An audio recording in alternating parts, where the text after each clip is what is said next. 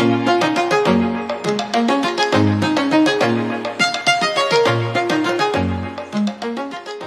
morning, it's our day 2 in Sagada. Uh, it's already 3.30 a.m. dito because our call time is 4 a.m. Pupunta kami ng Marlboro Hills and Blue Soil.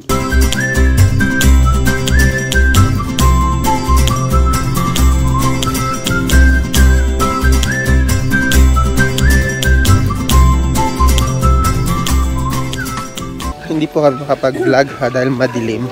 Update ko na lang kayo pag may liwanag na. Bye-bye! So, medyo mainit na dahil Pagod ka na. naglalabas na daw ng init ang katawan. Kailangan nang tanggalin ang jacket.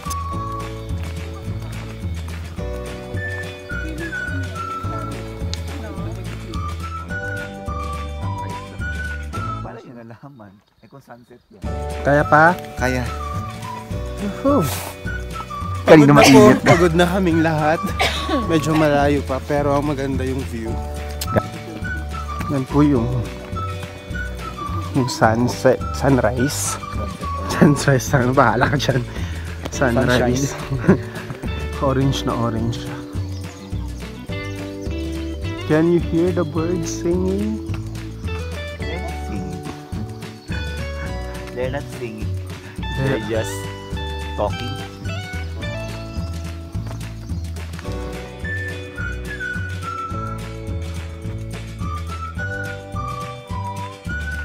Nalulusaw na.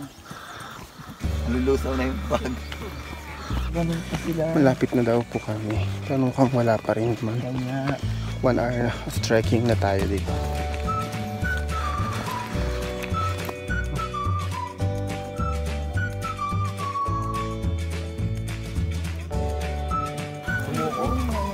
Nauna na pala siya sa akin. Hindi ako picture. This is the Sea of Clouds dito sa Sagada Mountain Run. Medyo ngayon, medyo trickle na lang siya.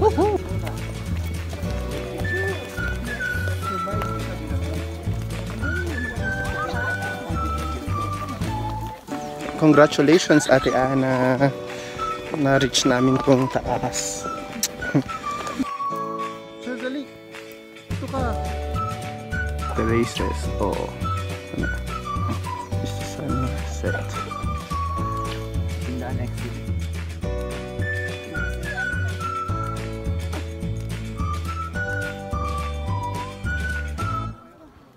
Ang daming tao.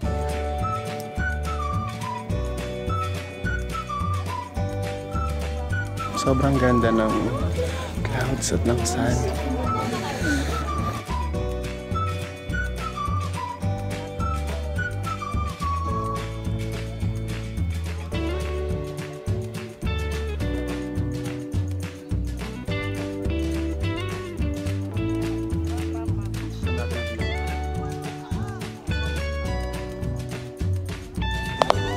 Sobrang worth it and it's only one hour trek.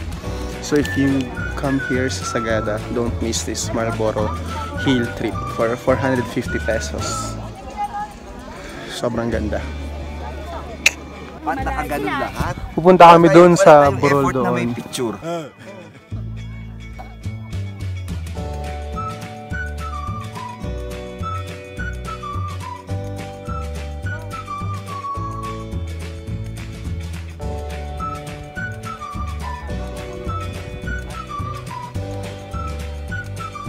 Daming tae dito. Everywhere. So mag-ingat.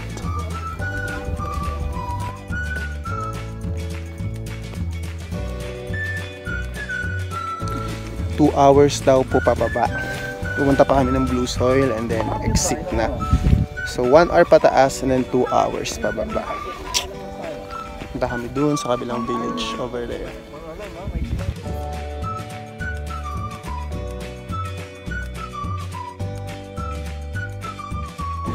Ito yung mga kasama namin sa travel with our new friends. Tita! Hello! Yan.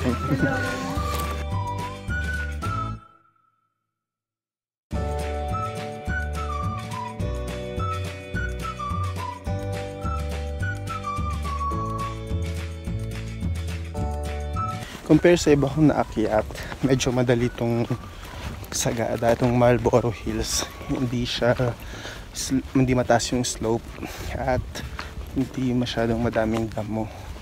So para talaga siya sa beginners, kahit matanda, pwedeng umakyat dito. At napakaganda, worth it. Pag, sum- pag sumigaw ka dito, bumabalik yung sigaw ng echo. Naman.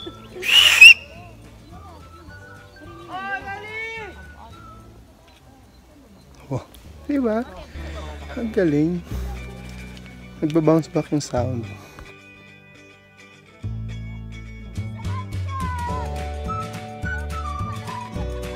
Galing, no?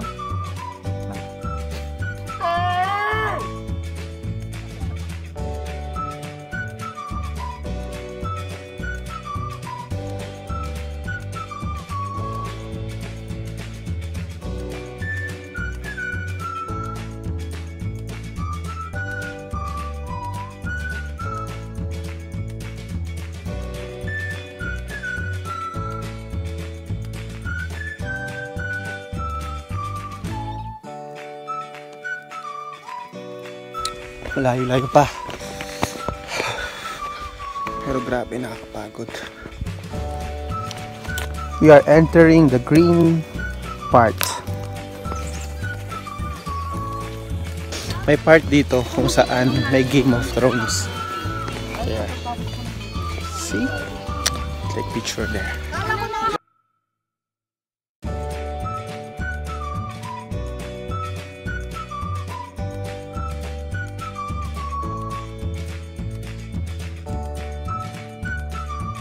Yun ang blue soil. Yun ang blue soil. Yun ang blue soil. Blue soil daw po ito. Pero pag sa camera, hindi naman siya mukhang blue. Actually, greenish blue, bluish green, hindi ko alam.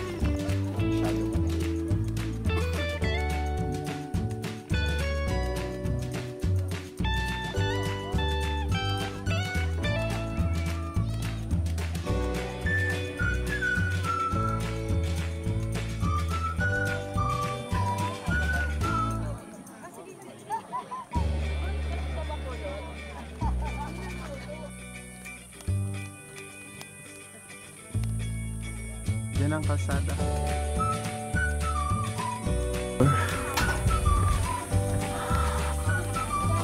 It's 9 a.m. So halos halos limang oras na kaming maglalakad paakyat pababa.